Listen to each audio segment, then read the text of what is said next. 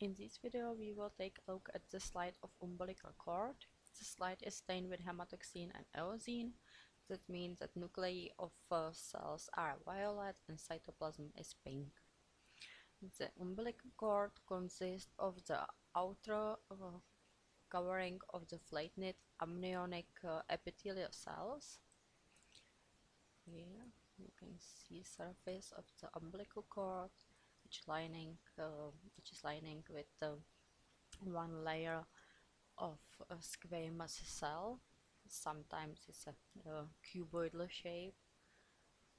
Here you can see around nucleus of the cuboidal cells but uh, very often it's a, a flat knit nuclei of flattened cells.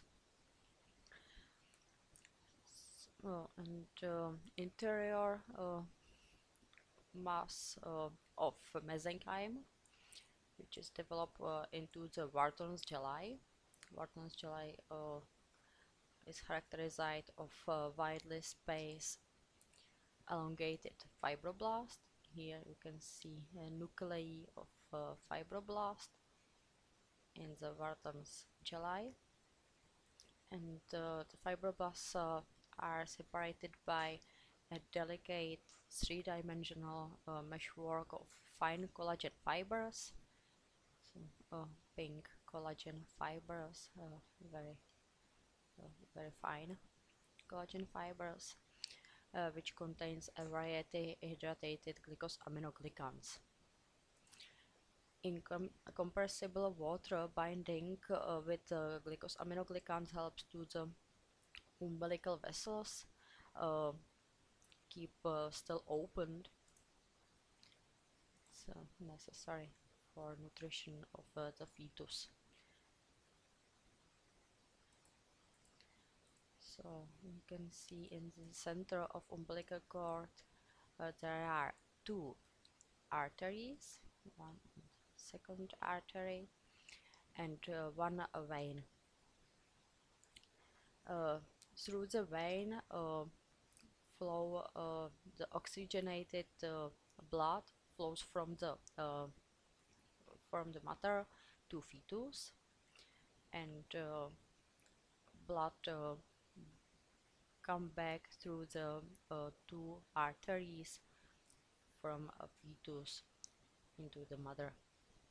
So arteries have collapsed lumen it's not visible good visible lumen which is lining one layer of squamous uh, cells called endothelial cells.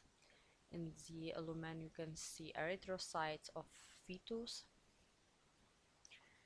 and uh, wall of uh, the artery uh, contains a smooth muscle cells uh, very wide wall of artery.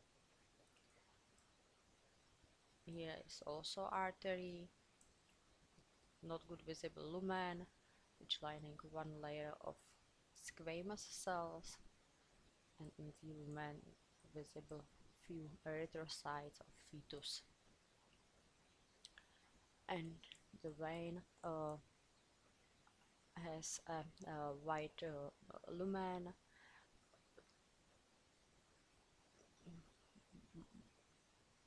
think uh, think wall as uh, have arteries and also lining with one layer of uh, squamous cells.